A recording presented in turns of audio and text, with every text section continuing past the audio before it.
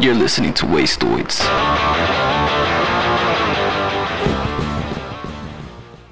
From cult horror and sci fi to B movie splatterfests, to underground music documentaries, concert films, public access shows, indie label showcases, and original programs, Night Flight Plus is the coolest place online for weird and riveting viewing. Right now, Wastoids listeners can get $10 off an annual membership. That means access to Night Flight's library for only $29.99 a year. Head to www.nightflightplus.com backslash promo code and enter Wastoids in all caps. That's W A S T O I D S. Enter promo code Wastoids at nightflightplus.com backslash promo code and get back in the days. Hey, I'm Jason Woodbury, and this is another installment of Wastoids with Trevor Shelley de Brauw guitarist of Chicago art metal band Pelican, Chord, and Relayer. Relayer just released a new self titled album on Gilead Media, and it blends thrash elements with shoegaze textures, drones, and a sense of triumphant melodicism.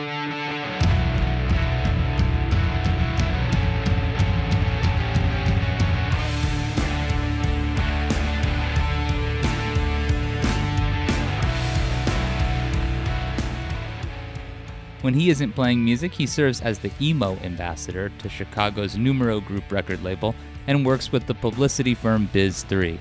He joined us to discuss it all the new Relayer album, the music of prog rockers Yes, from which they take their name, the origins of post rock, and Pelican's new partnership with Thrill Jockey Records, which will reissue the band's first three albums 2005's The Fire in Our Throats Will Beckon the Thaw, 2003's Australasia, and 2007's City of Echoes over the course of 2020 and 2023. How's it going, man? You know, it's going. Uh, it's uh, it's pandemic good, right? Sure. I mean, I heard it was over though. The pandemic? Yeah, it's over. By some accounts, yeah. I mean, and then also not over. Hold on, I'm turning on the uh, do not disturb on my phone because I'm getting like a plethora of texts while we're talking here.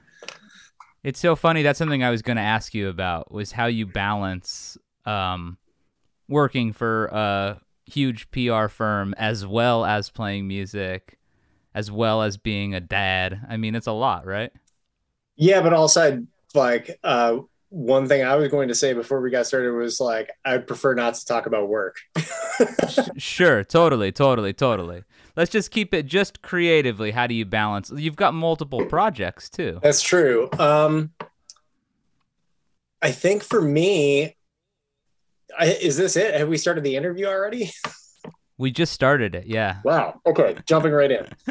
Um, for me, the uh, the creation of music is a compulsion. And sure. So it's sort of like this thing that while I have obviously like a day job and a family, uh, every other available corner of my life I try to fill with uh, creative endeavors, just not because I'm of any like specific game plan or anything like that. It's just sort of like I have a compulsion to do that stuff. So it's really just like filling every corner with that that I can find. Yeah. That's really I mean, I I I relate and I empathize for sure. It's it's a thing that is like a yeah, it can it, it can be tough to figure out said balance as I mentioned, but you got to do it. You got to make the stuff, right? You've been playing I imagine you've been playing since you were a teenager playing music? yeah, I uh, I figure when did I start doing bands? I guess freshman year of high school is when I started like pursuing music. Well, I I was gonna say seriously, but I guess it wasn't like a serious endeavor at that point. But you yeah, know, it was I like mean... that was when the drive to play guitar and like do stuff really uh, took hold because I I'd like played in like school band in like junior high school and played like clarinet and trombone and stuff like that. But like, it was really once I had a guitar in my hand and I was able to create something of my own, that was when it really like caught fire.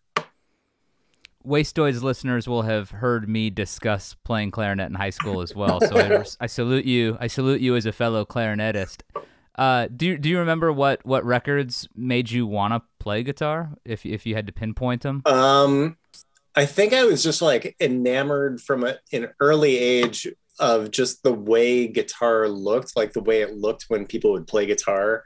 Um, yeah. The actual accessibility of it as an instrument, like uh, I think, really coincided with discovering punk. So, like sure. freshman year of high school, I made a friend, Josh Grubman, who made me a mixtape that had like trying to think of all the bands that were on it. It was like Naked Raygun, Screeching Weasel, uh, Ramones, and all that stuff just like made guitar, which had previously seemed like this esoteric instrument that only like these maestros and like uh, sure. could play, and suddenly it, it opened the door to this like accessibility of it. And I was like, oh my gosh, like I don't really need to learn how to do anything. I could just like start playing it.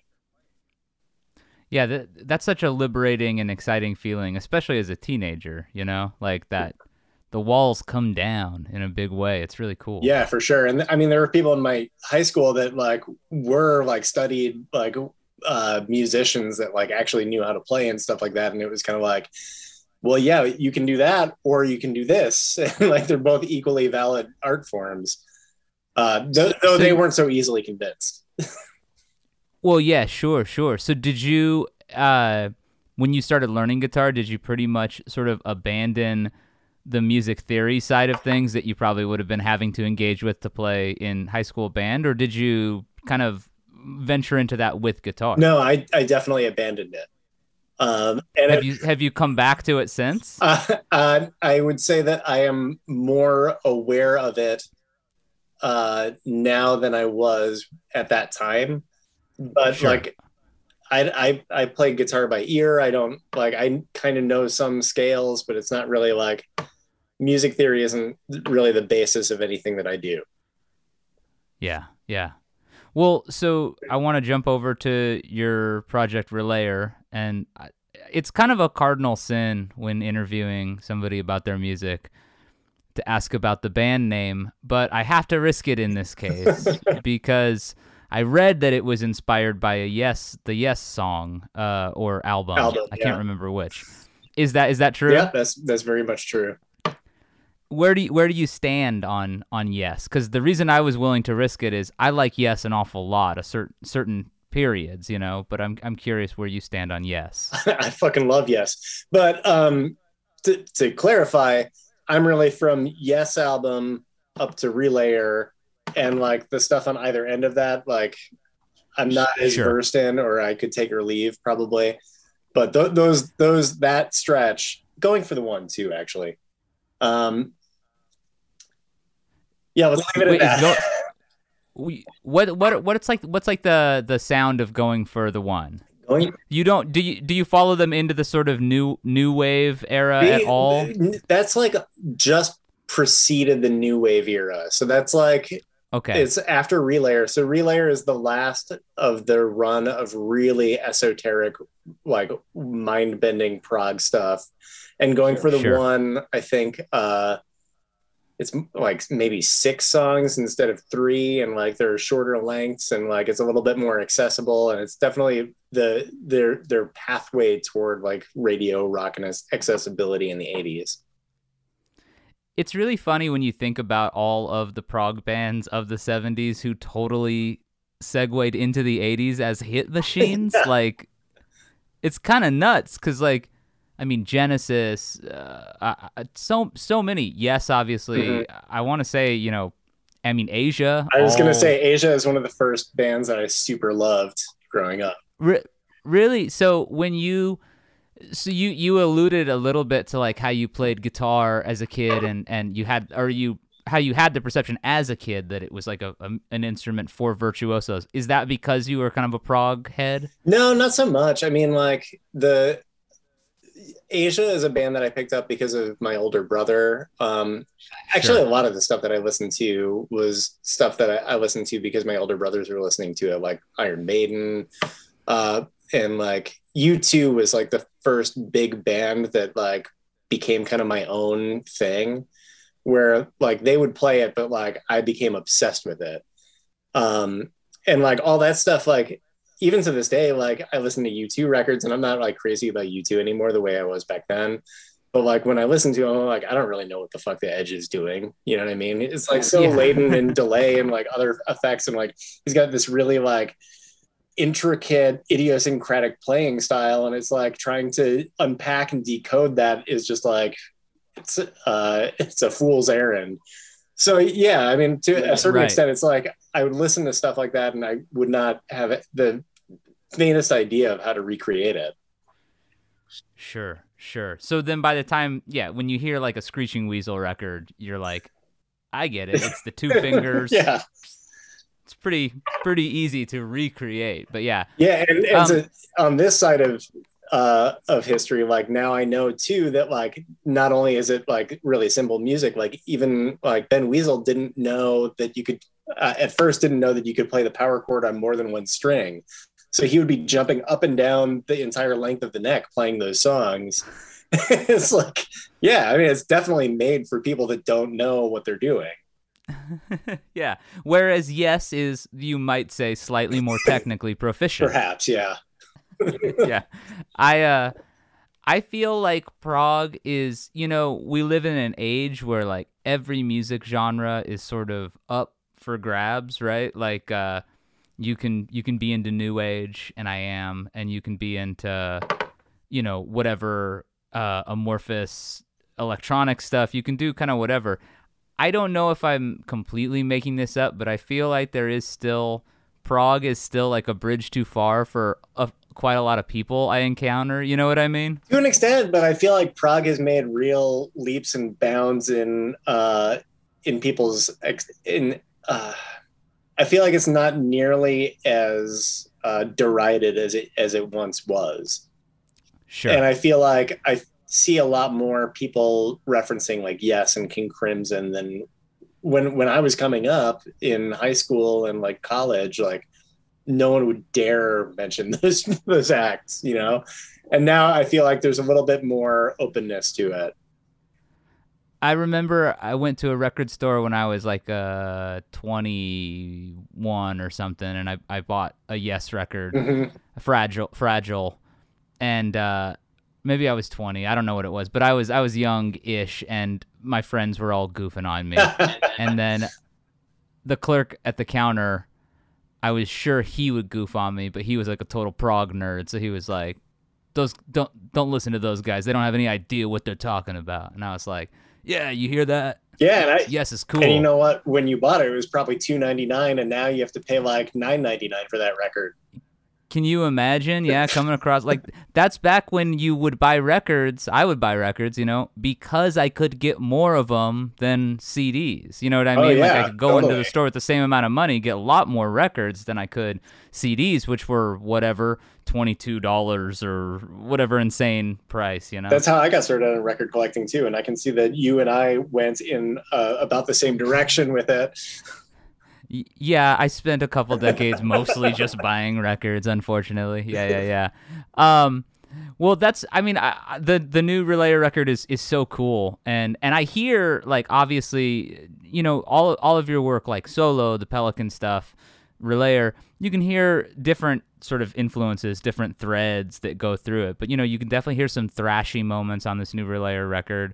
There's always cool atmospheric stuff. Um, but I really I really enjoyed listening to it. It's really it's a lot of fun. Thank you. Um, how how how how long have you? I mean, you guys have been making records since I think maybe what 2016 or something. Yeah, but how time. long have how long have you known uh, Colin and uh, and Steven? I've known Colin since he was in Dakota Dakota, which was his band with Mike Sullivan prior to Russian Circles. So mm-hmm.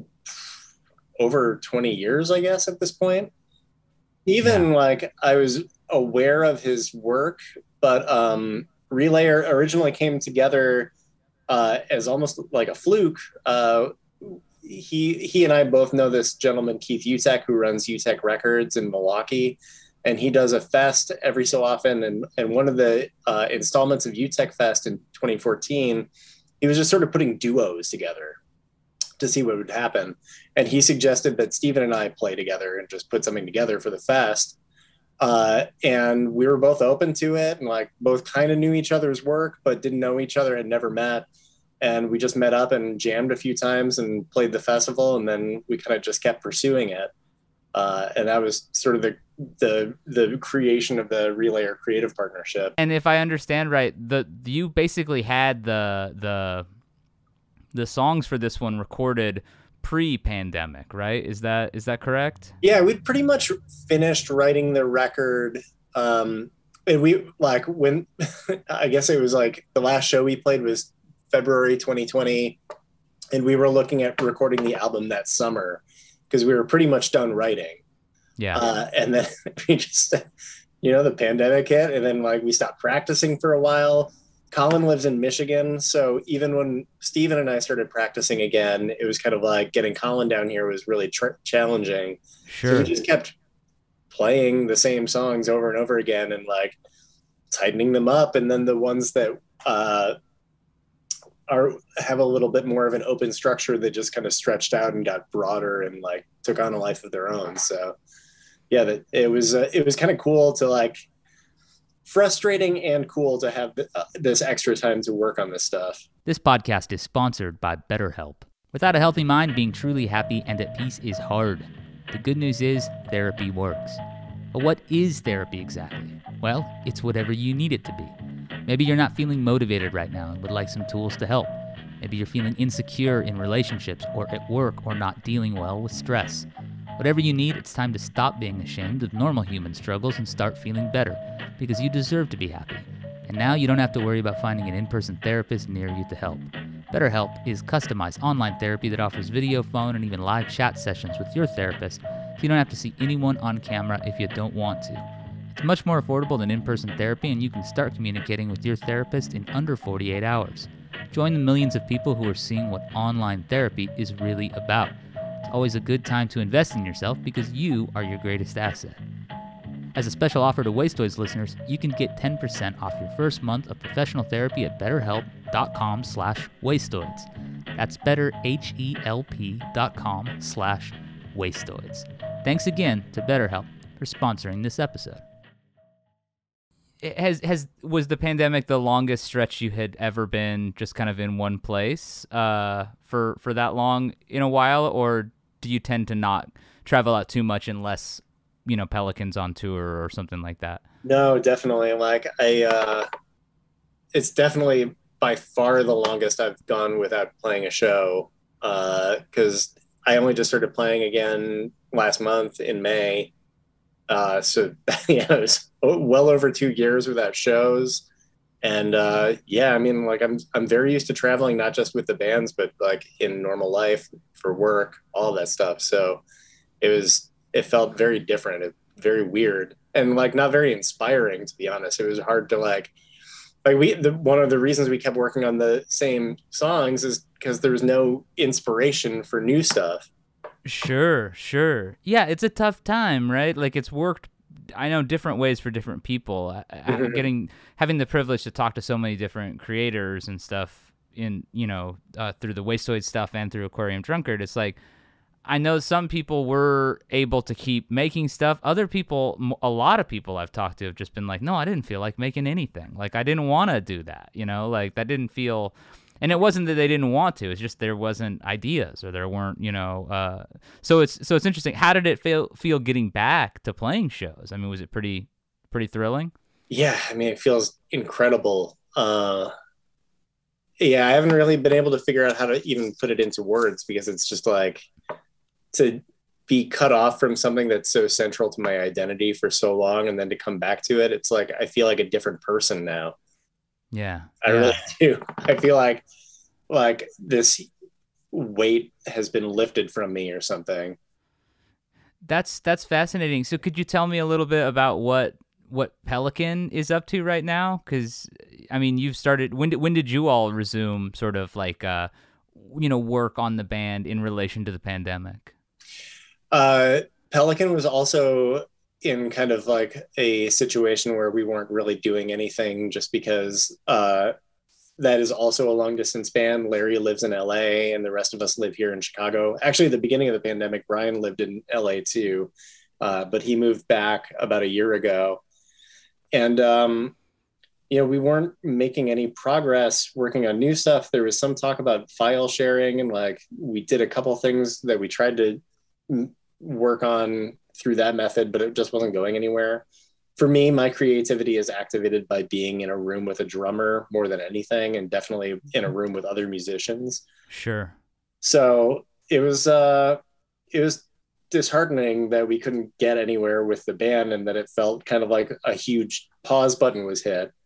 Um, but then at some point during the pandemic, uh, our former label, uh, Hydra Head, who put out our first three albums, announced that they were going to go uh, they, they were um, that they were stopping operations and all the bands were welcome to take their records and do whatever they wanted with them uh, and we ended up licensing them to thrill jockey and from that point forward we started really digging in on doing this reissue campaign for our first three albums uh, replete with like remastering the audio for all of the stuff digging up rarities that nobody had heard before and it kind of like gave us a creative drive that was like more uh, focused on our past instead of like focusing on the future.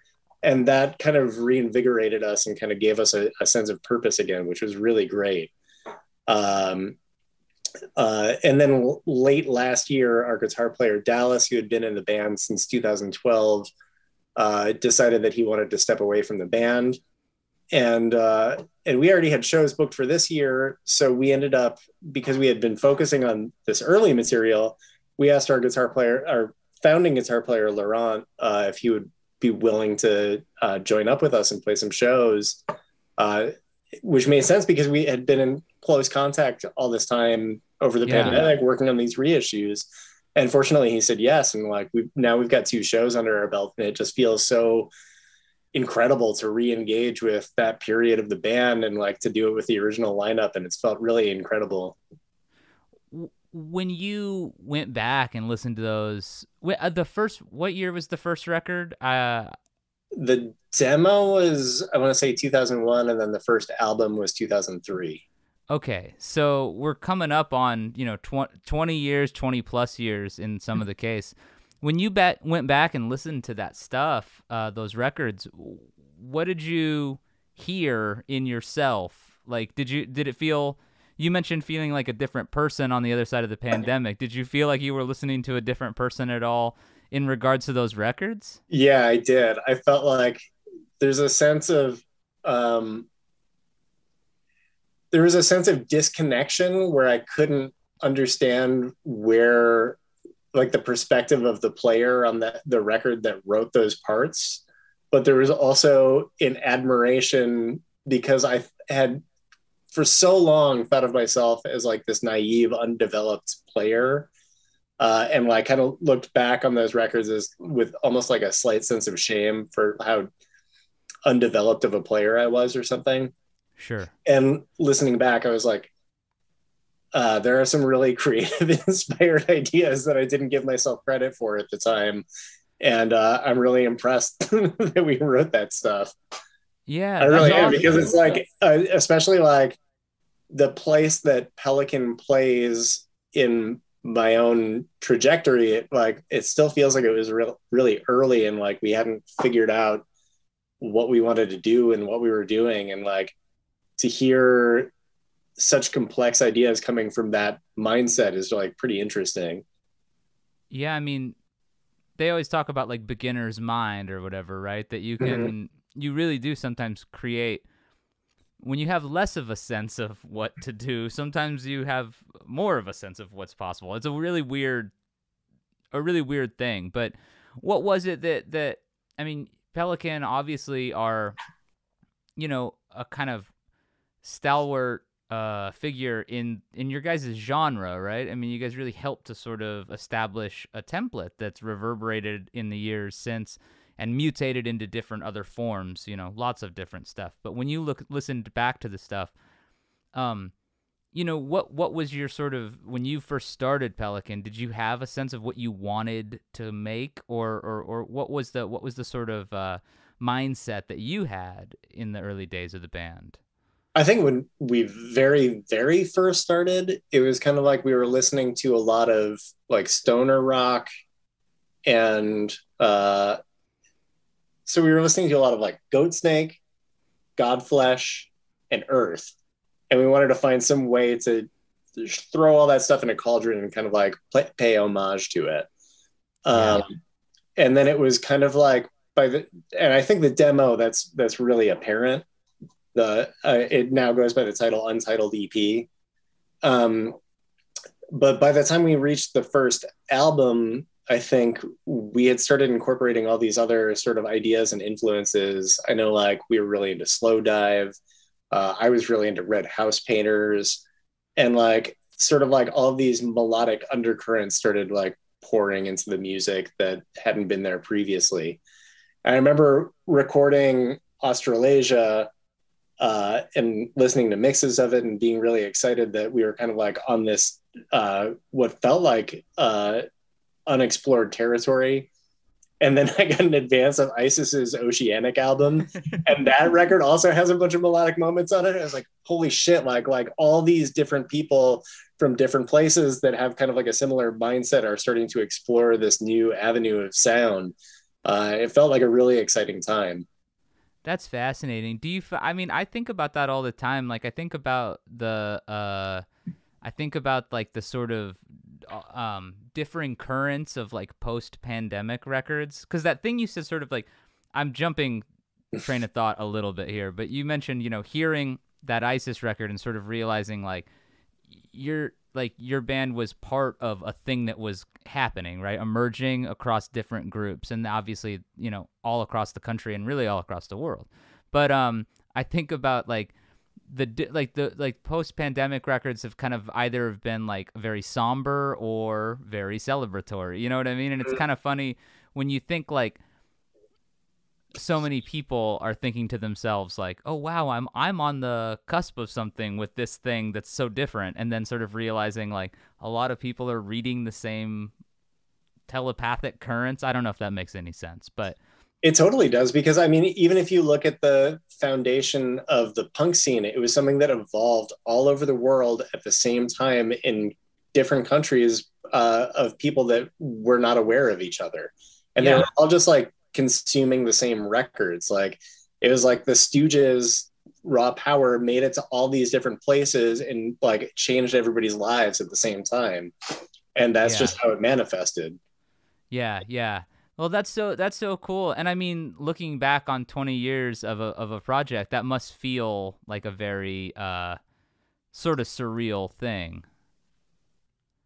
Yeah. Uh yeah for sure because like i I, I feel like it's still just sinking in like where those records exist in the in the in the in the course of history and yeah. whether anybody else even sees it that way I don't, I don't know but i'm really excited that, to have a new label partner and to be able to reintroduce these sort of into the public consciousness and see what people think of them now i'm a really big fan of thrill jockey too they're they they put out so many cool records. Everything from the Sarah Louise stuff to the Golden Retriever stuff to I mean a billion other things. You know, they're they're they're a really cool label. That's a cool partner.